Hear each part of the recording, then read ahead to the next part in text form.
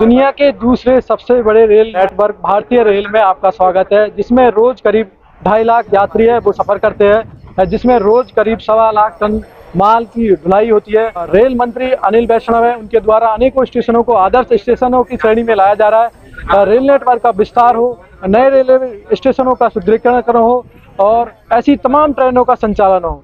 लेकिन उन रेलवे स्टेशनों या ट्रेनों के संचालन से क्या आम जन को कितना फ़ायदा हुआ है?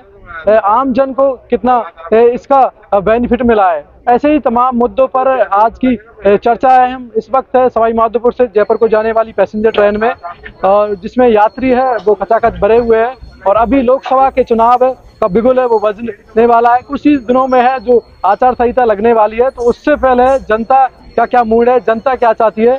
जनता इस बार किसे जो प्रधानमंत्री की कुर्सी पर चाहती है। तो ऐसे ही तमाम मुद्दों पर आज है हम इस वक्त पैसेंजर ट्रेन में। जहाँ एक तरफ़ राहुल गांधी है, वो पूरे देश में नया यात्रा निकाल रहे हैं। और वहीं बीजेपी है, वो कह रही है कि हमने काफ़ी विकास किया है, रेल नेटवर्क बढ़ाया है आमजन के साथ हमेशा खड़े रहे। तो लेकिन जनता की क्या मूड है, जनता इस बार क्या चाहती है? तो ऐसे ही मुद्दों पर भारतीय रेल में है। आप देखोगे पूरा ट्रेन का डिब्बा है, वो भरा हुआ है। अभी सवाई माधोपुर से निकली है, अब जयपुर को जाएगी। कुछ यात्रीगण है हम उनसे भी जानेंगे चर्चा करेंगे। आ, जी नमस्कार जी। क्या नाम है आपका? जी नमस्कार जी। कुछ बोलोगे? लोकसभा चुनाव होगा अभी बिल्कुल बचने वाला है। हाँ जी। आ, क्या लग रहा है इस बार प्रधानमंत्री मोदी का दस साल का कार्यकाल है? आप किस रूप में देखते हो बहुत ही अच्छा रहा। बाकी जो ट्रेन है जो बार बार लैप्स होती है हमेशा बजट पास होता है। दोहरीकरण का भी चला था। पहले बजट पास हुआ लेकिन आज दिन तक दोहरीकरण नहीं हुआ। और इससे पैसेंजरों को काफ़ी मतलब सुविधाएँ होती है। और जैसे एक ट्रेन को आधे घंटे रहना पड़ता है एक स्टेशन पे फिर दूसरे स्टेशन पे रुकना पड़ता है। इस प्रकार से काफ़ी विलंब चलता है। सरकार वंदे मातरम ट्रेनें चलाई है। तो उन वंदे मातरम ट्रेनों से आम जन को कितना फ़ायदा हुआ? है आम जन को उससे ज़्यादा फ़ायदा नहीं हो रहा वंदे मातरम से। बाकी जो लोकल पैसेंजर ट्रेनें हैं उनको ही चलाना चाहिए। गरीब रथ है गरीब रथ में कोई जनरल डिब्बा नहीं है एसी के सारे डिब्बे हैं सब कुछ एसी का ये स्लीपर है सब कुछ।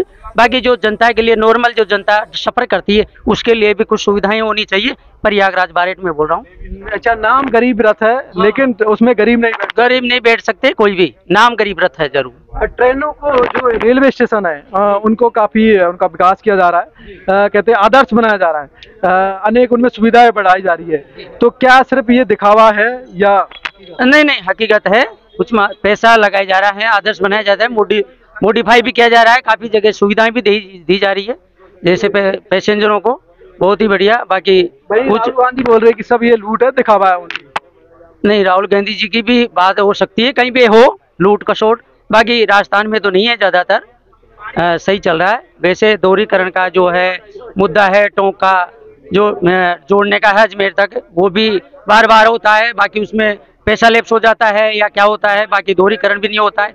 इससे थोड़ा सा जनता को ज़्यादा फ़ायदा मिले। अक्सर देखेंगे कि जो कोरोना के बाद है, ट्रेनों में है, जो पैसेंजर ट्रेन थी, उनका किराया बढ़ा दिया गया, उन्हें एक्सप्रेस बना के। पैसेंजर ट्रेन थी, ट्रेन का संचालन भी वही था, वही टाइम अपडेट था। लेकिन एक्सप्रेस के नाम पर उनका किराया बढ़ा दिया, जिससे जो आम जन को उसका नुकसान हुआ है। जी। जी। तो किस रूप में आप देखोगे जो किराया बढ़ाया उसको? किराया बढ़ाया, वो कह रहे कोरोना की वजह से किस कारण से बढ़ा है, ये तो गवर्नमेंट को ही पता।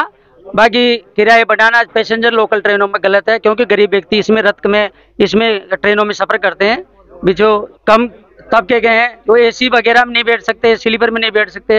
वो व्यक्ति इसमें ट्रेन में सफ़र करते हैं तो कम से कम मिनिमम किराया इनको जो स्टेशन है प्रत्येक जगह का करीब भी जाइए आप तीस रुपए किराया है। तो आपके हिसाब से इस बार के जो इलेक्शन है आपके हिसाब से इस बार के इलेक्शन में आप देखना चाहोगे? हाँ नरेंद्र मोदी जी बने तो ताकि विकास अच्छा हो और ज़्यादा बढ़े और अच्छे तरीके से विकास भारत का बढ़े और देश विदेशों में इनकी गौरव गाथाएँ बढ़े। अच्छा तो ये है अलग अलग लोगों के अलग अलग विचार है कि एक बार फिर से जो मोदी है वो प्रधानमंत्री बने। लेकिन वहीं राहुल गांधी है वो पूरे देश में न्याय यात्रा निकाल रहे जी क्या नाम है आपका? मीणा। कहाँ से आप सफ़र कर रहे मैं श्री महावीर जी। अच्छा महावीर जी से। इसमें क्या देखना चाहते हो इस बार के इलेक्शन में? आपके लिए क्या मुद्दा है?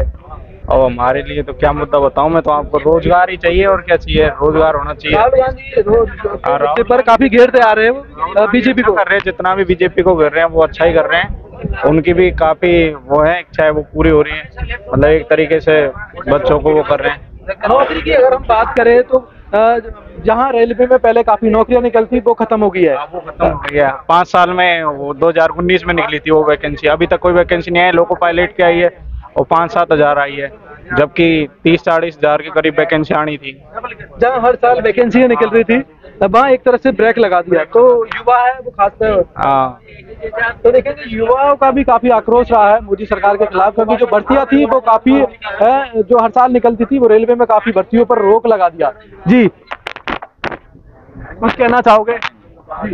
और भी है कुछ देखेंगे? जी। जी। नौकरियों के बारे में राहुल गांधी लगातार भेजते आ रहे बीजेपी को। नौकरियाँ एक तरफ़ से बोला, खत्म हो गई रेलवे। हाँ वो जो जो मोदी जी ने जो काम बोला था कि हम दो करोड़ वैकेंसी निकालेंगे, वो बिल्कुल खाए। अब चार हज़ार वैकेंसी पाँच हज़ार वैकेंसी निकाली है एलपी की? कितने फॉर्म भरवाएँगे? एक ही जगह पे पाँच, दस हज़ार फॉर्म भरा मारे बेरोजगार है या तो सब? जो काम किया है, वो काम तो करते नहीं है। जिस आज हमारा किसान है, किसान, आज हमारा किसान हरियाणा की सड़कों दिल्ली की सड़कों पे रो रहा है और हमको ये दो दो रुपए के किलो का अनाज दे रहा है फिर भी भुखमरी चाह रही है। हम उसे दो दो रुपए के उसे अनाज दे रहे हैं उसे पेट भर जाएगा किसान जो एमएसपी की गारंटी है उसके लिए आंदोलन है किसान हरियाणा पंजाब में और काफ़ी दिन से उनका आंदोलन चल रहा है। लेकिन उन्हें कहते हैं कि एक तरह से दमनकारी नीति के तहत उन्हें रोका गया है। हाँ। भाई उनको कुछ न कुछ आश्वासन तो देना किसान को। पहले भी किया था कुछ फ़ायदा नहीं हुआ किसान को। कुछ मरे भी हैं कुछ कुछ घायल भी हुए सब कुछ हुए मैं उनको तो आश्वासन तो देना कुछ न कुछ मोदी सरकार। तो आपके हिसाब से इस बार के इलेक्शन है उसमें क्या देखने को उसके बाद में आपकी बार तो हम कांग्रेस को देखना चाहते हैं इसके बाद। तो आपके हिसाब से कांग्रेस?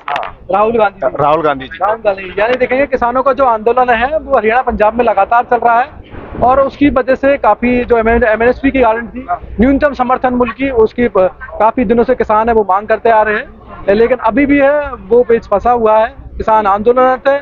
नौकरी का मुद्दा हो किसानों का मुद्दा हो ऐसे ही तमाम मुद्दों पर।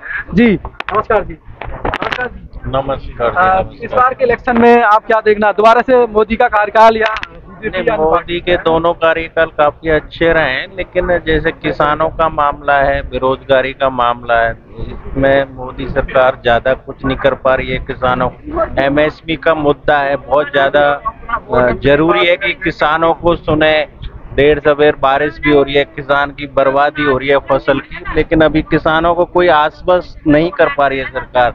इस बार शायद देखने को मिलेगा कि किसान विरोध में रहेंगे। तो इस बार के चुनावों में शायद किसानों का जो विरोध है वो सरकार को भुगतना पड़ेगा। भुगतना पड़ेगा। और इससे कहीं ना कहीं मोदी सरकार को काफ़ी नुकसान नुकसान हो सकता है।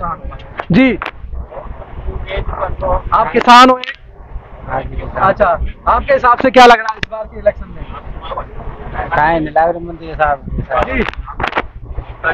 हाँ जी जी क्या लग रहा है? आ, तो देखेंगे कि तमाम जो लोग हैं यात्रीगण है ट्रेन में आ, वो भी है काफ़ी जहाँ पैसेंजर ट्रेनों में जो किराए का मुद्दा है वो लगातार रहा है प्रमुखता से। विरोध भी है पक्ष भी है पक्ष में भी है विपक्ष में भी है तमाम लोग हैं। इस तरह पे अगर दिखाएँगे काफ़ी पैसेंजर है जो सफ़र कर रहे हैं सवाई माधोपुर से ट्रेन निकली है जयपुर को जाएगी। ये काफ़ी। जी नमस्कार जी। नमस्कार सर। अभी इलेक्शन होने वाले हैं चुनाव है। मोदी सरकार का दस साल का कार्यकाल। आपके हिसाब से क्या लग रहा है इसमें? देखो सर आने में तो बीजेपी आएगी सर। अच्छा। पर विकास के मामले में बहुत पीछे गया सर देश। आप लोग कह रहे हैं कि नहीं विकास किया है? विकास कहाँ से किया सर? नौकरियाँ नहीं है सर। मैं व्यापार खत्म हो गया सर। जीएसटी हर चीज़ के ऊपर जीएसटी लग गई है सर। हर चीज़ महँगाई हो गई सर। मैं किसानों की बात नहीं कर रहा मैं आज बाज़ार में बेरोजगारी इतनी हो गई कि हर हर सेक्टर को प्राइवेट सेक्टर में दे चुका रेलवे मैं रेलवे में सफ़र का और रेलवे को प्राइवेट सेक्टर में दे दिया सर। नौकरियाँ सारी खत्म हो गई सर आज की तारीख में। पहले था नौकरियाँ हर साल निकलती थी रेलवे में। युवा ज़्यादातर जो गरीब किसान है युवा वो ज़्यादातर रेलवे और पुलिस की तैयारी करता था। लेकिन अब वो भर्तियाँ महँगाई आज किसान के लिए इतनी महँगाई हो गई सर आज भी फ़सल वही भाव है जो दस साल पहले वही भाव था लेकिन खर्चा जो है ना खर्चा हो गया पाँच गुना बढ़ गया सर खर्चा। किसान के लिए आज की तारीख सर पंजाब में भी किसान आंदोलन कर रहे हैं। बिल्कुल बिल्कुल पंजाब में भी कर रहा है और यहाँ पे भी वही स्थिति है। हर हर वर्ग हर वर्ग परेशान इस टाइम पे हर कोई बोलता नहीं है कोई बोलता नहीं है सर। बेरोजगारी की समस्या सबसे ज़्यादा। सबसे ज़्यादा समस्या है, सब धंधा कम हो गया सब दीपावली बाद में मान लो कि बैठे हैं आज। रेट वही है लेकिन खर्चे ज़्यादा हो गए। खर्चे ज़्यादा हो गए। रेट वही है। राहुल गांधी जहाँ न्याय यात्रा निकाल रहे पूरे देश में कि बेरोजगारी की सबसे समस्या हो बेरोजगारी के मुद्दे पर। राहुल राहुल गांधी से सत्ता नहीं चल सकती है उसको तो एक इन्होंने मोहरा बना रखा सर। राहुल गांधी को तो इन्होंने मोहरा बना रखा जब जब भी राहुल गांधी को साथ में लेंगे कांग्रेस को नुकसान होगा बीजेपी को बेनिफिट होता सर। बिल्कुल अब आप तो मीडिया वाले हैं आपको पता क्योंकि आप सामने नहीं बोल सकते ये तो आपको पता इस चीज़ के लिए। देखेंगे जो विपक्ष में पार्टी है कांग्रेस ही है। कहीं ना कहीं बड़ी पार्टी सिस्टम सारा सेट है मीडिया भी सेट है पूरा तंत्र सेट है इस टाइम पे सर। लेकिन जनता सेट नहीं है। जनता जनता सेट नहीं इस टाइम पे। हाँ। तो इस बार के चुनावों में शायद कुछ अलग देखने को मिले सर चुनाव के अंदर बीजेपी प्लस में है। अच्छा। हाँ बीजेपी हारेगी नहीं बीजेपी जीत रही है सर फिर भी। आप कह रहे हैं कि बेरोजगारी है फिर भी सर उसके मोदी जी के अलावा कोई ऑप्शन नहीं है हमारे पास में सर। मोदी जी के अलावा कोई ऑप्शन नहीं है सर। क्योंकि उधर क्या बिखरा हुआ जहाज़ है सर वो वो डूबती नहीं है सर मोदी जी अच्छे आदमी है लेकिन इनको कम से कम विकास के ऊपर ध्यान देना चाहिए। नेता अच्छा है बढ़िया आदमी है लेकिन इनको रोज़गार के ऊपर ध्यान देना चाहिए। मैं मेरी भगवान है मोदी जी तो। भगवान भगवान- परमात्मा भगवान वो है। भगवान को लाने वाले कौन होते हैं? भगवान ही है वो तो। भगवान तो ये पहले मान लो ये गलत है। भगवान भगवान आज राम मंदिर बनाया वो तो पहले भी थी सर। ठीक है। अब इन्होंने डबल हर लाने वाला कौन है जो सब सृष्टि के करता है धरता है? जो जिन्होंने सारी सृष्टि को रचा है वो कोई लाने वाले नहीं भगवान को कोई लाने वाला नहीं भगवान तो तात्काल वो तो खुद शिवम है सर वो तो लाने वाला है। भगवान को लाएँगे? क्योंकि भगवान के लिए कोई ये नहीं बोल सकता है भगवान को मोदी जी लेके आना है, भगवान तो खुद ये सर। वो तो खुद ही है सर। आप कह रहे हो कि विरोध है लेकिन फिर भी लोग बीजेपी को चुनेंगे। सर ऑप्शन नहीं है ना सर। इनके अलावा ऑप्शन नहीं है सर। तो नहीं? अन्य भी पार्टी है आम आदमी पार्टी है वो भी मैदान में आ रही है। और मैं मोदी जी को ही वोट दूँगा लेकिन मोदी जी से मेरी आपके मीडिया के थ्रू में आपसे ये पहुं- पहुंचाना चाह रहा हूँ कि साहब एक तो बेरोजगारी है ना उसके ऊपर ध्यान दो और एक आप जो रोज़गार है ना वो मिलना चाहिए। नहीं तो हर बार आप सत्ता में बैठाते रहेंगे तो वो क्यों ध्यान देंगे? एक बार आप पलटी मारिए। क्या करें क्या करें? नहीं मेरे पलटी मारने से नहीं है सर मेरे पलटी मारने जनार्दन अगर चाहे तो कुछ भी कर सकते सर वो समझे ना आज बीजेपी के अलावा कोई ऑप्शन नहीं है सर। कोई ऑप्शन नहीं है। अच्छा। पलटी वल्टी तो नहीं आ मेरी पार्टी है। अच्छा तो यानी कि कहना है कि हमारे पास कोई ऑप्शन नहीं है इसलिए हम सिर्फ़ बीजेपी को करेंगे। लेकिन बीजेपी को कहीं ना कहीं सुधार की ज़रूरत है सोचने की ज़रूरत है चिंतन करने की ज़रूरत है। जब ये कुछ जो मुद्दे हैं बेरोजगारी की समस्या हो नौकरियों की समस्या हो वो कहीं ना कहीं है वो दूर हो सकती है। तो युवाओं के अलग अलग मत है अलग अलग विचार हैं और और भी है कुछ यात्री हम उनसे भी जानेंगे। इस तरफ़ भी है। जी नमस्कार। नमस्कार। इस बार लोकसभा चुनाव होने वाले हैं। मोदी सरकार का 10 साल का कार्यकाल पूर्ण होने को जा रहा है। वहीं दूसरी तरफ़ राहुल गांधी न्याय यात्रा निकाल रहे देश भर में। बेरोजगारी का भ्रष्टाचार का मुद्दा हो। मैं कर्मचारी को कुछ नहीं कह सकता। अच्छा सॉरी आप सरकारी कर्मचारी कोई बात नहीं। जी नमस्कार। जी जी कुछ युवा है ऊपर उनसे भी जानेंगे। जी। नौकरियों की सबसे बड़ी समस्या है। जहाँ रेलवे में हर साल नौकरियाँ निकलती थी अब बंद हो चुकी है। अब सर क्या कर सकते हैं इसमें? नौकरी निकलती थी बंद होगी किसी और में ट्राई करेंगे प्राइवेट सेक्टर तो है। नहीं तो इस बार के जो लोकसभा चुनाव है उनमें आप क्या देखना चाहते हो? क्या कुछ बदलाव होगा या फिर से बीजेपी कुछ भी हो सकता है जनता। है कुछ भी हो सकता है। आपके हिसाब से क्या है? बीजेपी ने अच्छा काम किया आ सकती है बीजेपी भी तो आप कह रहे हो कि बीजेपी एक बार फिर से सत्ता में आने के कगार हाँ। आ सकती है अच्छा कार्य किया है।